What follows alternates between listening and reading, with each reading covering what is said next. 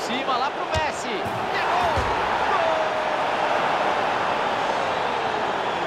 Saiu o gol de empate no final.